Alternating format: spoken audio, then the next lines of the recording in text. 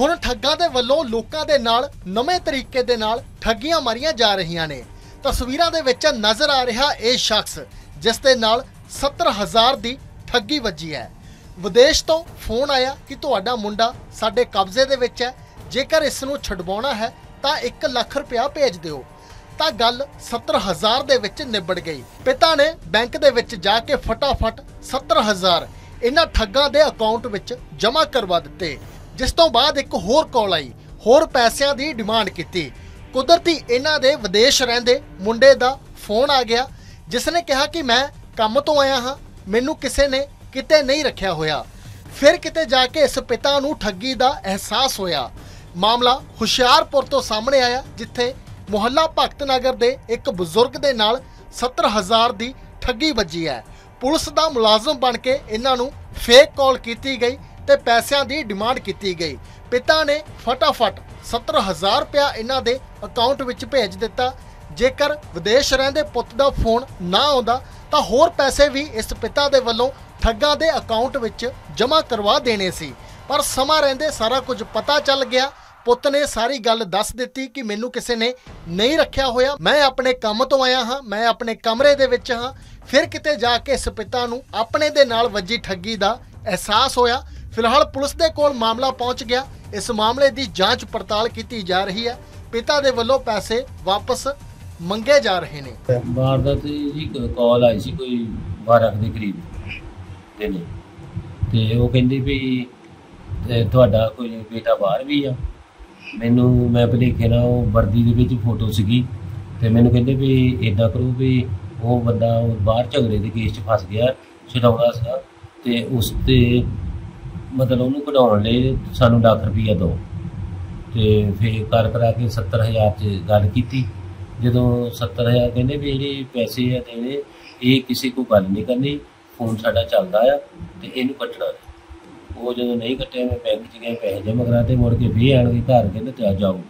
ਜਦੋਂ ਉਧਰ ਉਹਨੇ ਪੈਸੇ ਕਢਾ ਲਏ ਟੀਮ 'ਚੋਂ ਤੇ ਉਸ ਤੋਂ ਬਾਅਦ ਫਿਰ ਜਦੋਂ ਘਰ ਆਏ ਤੇ ਫੇਰ ਕਾਲ ਆ ਗਈ ਕਹਿੰਦੇ ਵੀ ਉਹ ਸਾਹਿਬ ਨਹੀਂ ਮੰਨਦਾ, ਉਹ ਕਹਿੰਦਾ ਹਸਪੀਟਲ ਦਾ ਖਰਚਾ।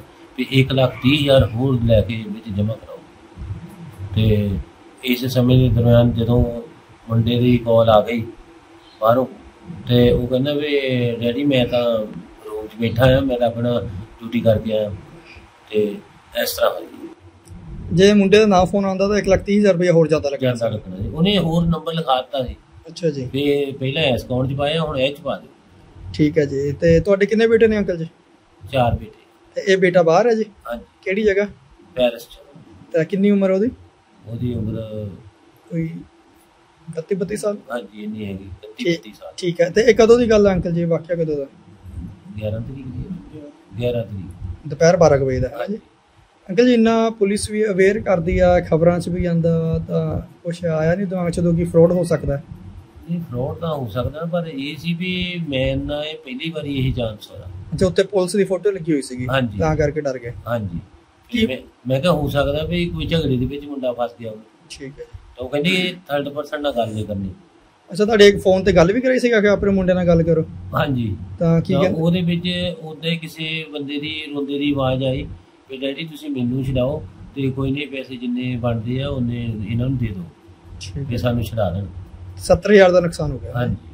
ਵੇ ਬੈਂਕ ਜਾ ਕੇ ਜਮ੍ਹਾਂ ਕਰਾਏ ਉਥੋਂ ਉਹਨੇ ਰਸੀਦ ਦਿੱਤੀ। ਠੀਕ ਹੈ। 70000 ਦੀ ਪੁਲਿਸ ਨੂੰ ਸ਼ਿਕਾਇਤ ਦਿੱਤੀ ਅੰਕਲ ਜੀ? ਹਾਂਜੀ ਐਸਐਸਪੀ ਦੀ। ਕੀ ਮੰਗ ਕਰਦੇ ਹੋ ਪੁਲਿਸ ਪ੍ਰਸ਼ਾਸਨ ਮੰਗ ਇਹ ਕਰਦੇ ਜਿਹੜਾ ਸਾਡਾ ਬਣਦਾ ਹੱਕ ਸਾਨੂੰ ਦਿੱਤਾ ਜਾਵੇ। ਤਾਂ ਜਿਹੜੇ ਧੋਖਾਧੜੀ ਕਰਦੇ ਉਹਨਾਂ ਦੇ ਨੱਥ ਪਾਈ ਜਾਵੇ ਇਹ ਕੀ ਨਾਮ ਹੈ ਤੁਹਾਡਾ? ਮੇਰਾ ਨਾਮ ਸੰਦੀਪ ਕੁਮਾਰ ਹੈ ਜੀ। ਧਰਮਪਾਲ ਜੀ ਕੀ ਲੱਗਦਾ ਤੁਹਾਡੇ? ਮੇਰੇ ਪਿਤਾ ਜੀ ਨੇ। ਤੇ ਤੁਹਾਡੇ ਛੋਟੇ ਭਰਾ ਦਾ ਅਹ, ਹੋਇਆ ਸੀਗਾ ਇਹ? ਹਾਂਜੀ ਕਿ ਵਾਕਿਆ ਮੇਰੇ ਛੋਟੇ ਭਰਾ ਨਾਲ ਇਹ ਵਾਕਿਆ ਹੋਇਆ ਜੀ 11 ਤਰੀਕ ਨੂੰ। ਠੀਕ ਹੈ ਜੀ। ਤੇ ਉਹਨਾਂ ਦੇ ਸੰਬੰਧ ਵਿੱਚ ਅਸੀਂ ਮੇਰੇ ਪਾਪਾ ਨੂੰ ਕਾਲ ਆਈ ਸੀਗੀ। ਜੀ। ਤੇ ਇਦਾਂ ਇਦਾਂ ਕਰਕੇ ਵੀ ਤੁਹਾਡੇ ਬੱਚੇ ਦੀ ਲੜਾਈ ਝਗੜਾ ਹੋ ਗਿਆ ਵਾ। ਤੇ ਇਹਨਾਂ ਨੇ ਇਸ ਗੱਲ ਨੂੰ ਮੱਦੇਨਜ਼ਰ ਰੱਖਦੇ ਹੋਏ ਆਪਣੇ ਜਿਨ੍ਹਾਂ ਦੀ ਕਾਲ ਆਈ ਉਹਨਾਂ ਨੂੰ ਕਹਿ ਦਿੱਤਾ ਵੀ ਕੋਈ ਨਹੀਂ ਤੁਹਾਡੇ ਅਕਾਊਂਟ 'ਚ ਇੰਨੇ ਪੈਸੇ ਪਾ ਦਿੰਦੇ ਆ। ਅੱਛਾ ਹਿੰਦੀ ਬੋਲਦੇ ਕਿ ਪੰਜਾਬੀ ਬੋਲਦੇ ਸੀ? ਪੰਜਾਬੀ ਵੀ ਬੋਲਦੇ ਆ ਜੀ ਹਿੰਦੀ ਵੀ ਬੋਲਦੇ ਆ। ਅੱਛਾ ਦੋਨੋਂ ਮਿਕਸ ਭਾਸ਼ਾਵਾਂ ਬੋਲਦੇ ਹਾਂਜੀ। ਤੇ ਹੁਣ ਤੁਸੀਂ ਸ਼ਿਕਾਇਤ ਕਿੱਥੇ ਦਿੱਤੀ ਹੈ ਅਸੀਂ ਸ਼੍ਰੀਮਾਨ ਜੋਗ ਐਸਐਸਪੀ ਸਾਹਿਬ ਉਹਨਾਂ ਦੇ ਉੱਤੇ ਦਰਖਾਸਤ ਦੇ ਕੇ ਆਏ ਸੀਗੇ ਜੀ। ਠੀਕ ਹੈ ਜੀ। ਤੇ ਸੋ ਸਾਨੂੰ ਤਾਂ ਇਹੀ ਆ ਵੀ ਟਾਈਮ ਦੇ ਹਿਸਾਬ ਨਾਲ ਜੋ ਵੀ ਕਾਰਵਾਈ ਇਹਨਾਂ ਤੇ ਕੀਤੀ ਜਾਵੇ ਔਰ ਇਹਨਾਂ ਤੇ ਨੱਥ ਪਾਈ ਜਾਵੇ ਗਾਂ ਕੀ ਇਦਾਂ ਦਾ ਕੋਈ ਵੀ ਕਦੀ ਇਹੋ ਜਿਹਾ ਕੇਸ ਨਾ ਹੋਵੇ।